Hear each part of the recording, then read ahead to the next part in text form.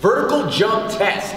Okay, we're gonna be using the vertical jump to measure our ground force that we create, how much vertical ground force we can create. So the first thing I'm gonna go over is show you how to set up the test, then I'm gonna go over the mechanics of the jump. So what we're gonna need is some chalk, all right? We're gonna find a wall, we're gonna reach as high as we can from our feet flat and mark a point on the wall, okay? Then we're gonna re-chalk up those fingers, set up for a jump alongside the wall, whatever side you want, whether it's left or right. Then we're gonna jump and mark that highest point. We'll take two to three jumps, measure the difference between the highest jump, and that's gonna be your vertical, okay? Now let's think about the jump mechanics themselves, okay?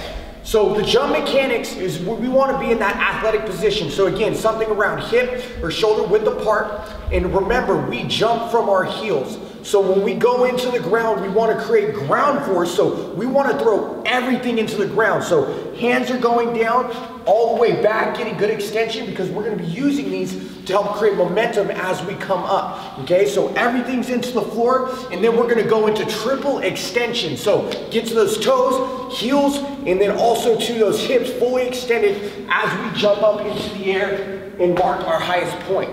And that's the vertical jump.